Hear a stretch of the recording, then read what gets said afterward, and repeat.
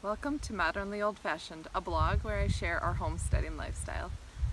In the beginning of summer, we love to go look for wild berries, and one of our favorite first finds are always mulberries. And today we are mulberry picking. I actually am filming this after we picked mulberries, so if you see purple hands or stains on my shirt, it's because mulberries stain very, very easily and we are completely covered in purple.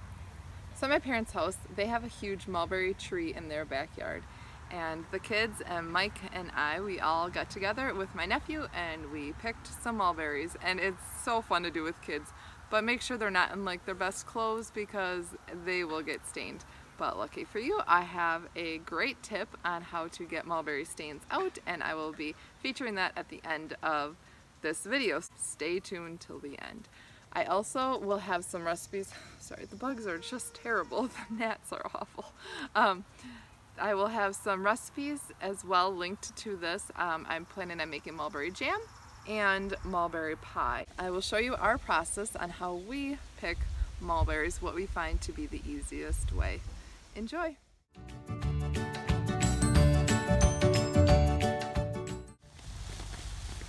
Now the biggest thing you're going to need is a tarp. This allows you to collect the mulberries a lot quicker and a little bit cleaner than picking them directly off the, the ground. You can, if the bush is small enough, you could pick it directly off the bush, but we have a gigantic tree here, so using a tarp right works the best. Once your tarp is laid out under your tree or bush, you just start shaking and the berries will fall down and then you can collect them. Good job, Roman.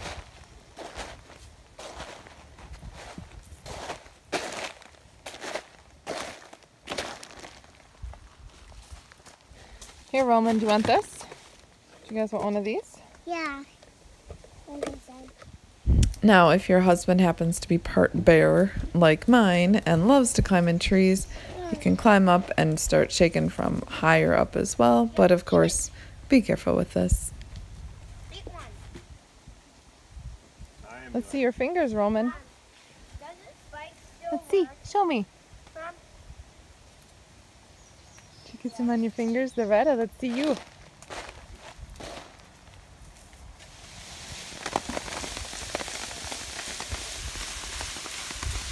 One of the nice things about shaking them out of the tree is that only the ripe ones fall off. Now, if you are picking them off a bush or picking them off of a tree, you want to look for the ones that are all black and that come off easily, and then you know that they are ripe. Oh, it's going to take you a while to fill up your bucket because mulberries are not very big, but they sure do pack a punch as a superfood. They have high levels of protein and iron. They also are a big source of vitamin C, fiber, calcium, and antioxidants. So the hard work is totally worth it. Yeah, I was not kidding. Look how big this tree is. We could pick four days. Thank you all for watching. I hope you enjoyed our mulberry picking experience today. We have a lot of cleaning to do now. Our clothes are pretty pretty bad and yes Loretta was wearing white not the best choice but she looks so darn cute and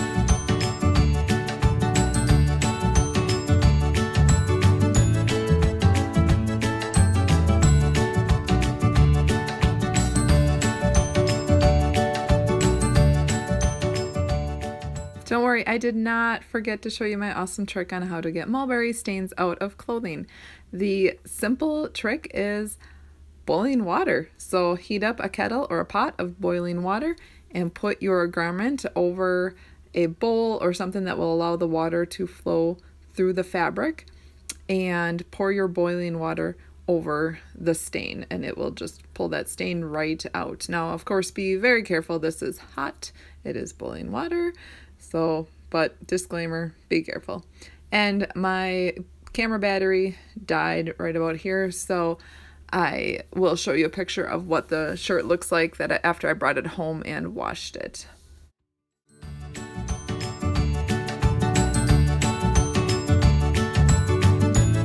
Thank you again for watching. If you are new here, please hit that subscribe button I'm sorry, the bugs are so bad. Please hit that subscribe button. Um, if you enjoyed this video, give me a thumbs up. Thank you for joining us on the homestead.